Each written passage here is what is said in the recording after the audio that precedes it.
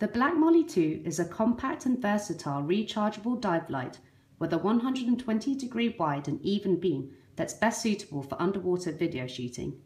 Made from anodized aluminium, the Black Molly 2 is anti-corrosive and extremely light, weighing a tiny 111 grams underwater. Fantastic for minimizing the weight of your camera setup.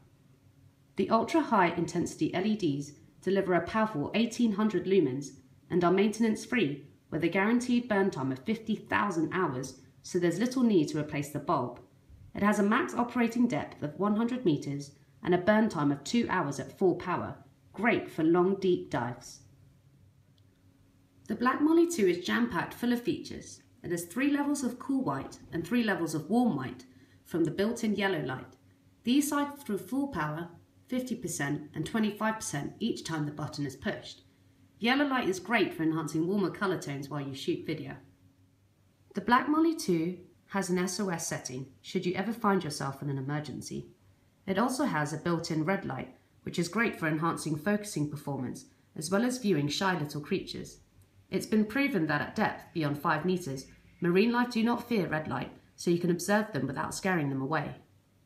In the box you get the light, rechargeable battery, charger, spare O-rings and a ball joint so all set up and ready to video your dive.